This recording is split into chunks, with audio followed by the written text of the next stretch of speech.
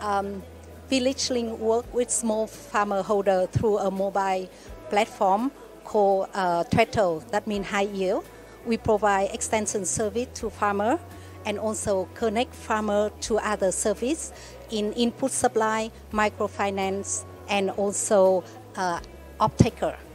So under We4F program, we advise the farmer to choose the best crop in which they can have a, a bad rate of return, also make a less impact to environment. Uh, so our coming up feature is that we provide uh, farmer with access to e-commerce.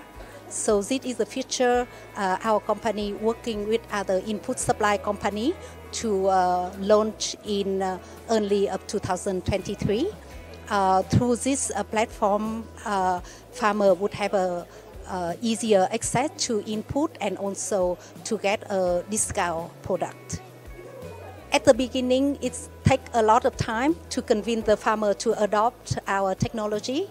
Uh, but uh, we using uh, a lot of uh, training, work with youth in village and key farmer, and therefore the adoption rate will increase in the last two, three, three years. Um, so under the We4F program, we uh, provide the farmer which uh, which um, have a function in the app, which farmer can check the suitability of the crops they grow, in which um, we advise the farmer that uh, sometimes they uh, should change the traditional crop as a rice and adopt it for other southern crop, which use much less water and have a much Uh, higher rate of return of investment.